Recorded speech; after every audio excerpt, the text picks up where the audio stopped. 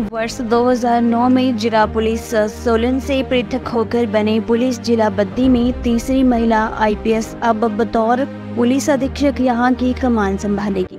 SP Baddi रहे IPS Mohit Chawla पदोन्नत होकर डीआईजी साइबर क्राइम बने हैं।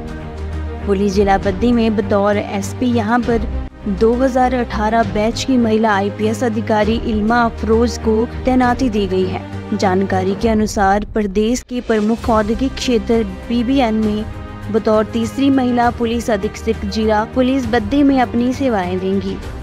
इससे पहले पुलिस जिला बद्दी में आईपीएस अधिकारी सुमेधा द्विवेदी और बिंदु रानी सचदेवा भी बतौर पुलिस कप्तान यहाँ पर सेवाएँ दे चुकी हैं, जबकि एक महिला अधिकारी आईपीएस वीना भारती नालागढ़ में एएसपी के पद पर तैनात रह चुकी हैं।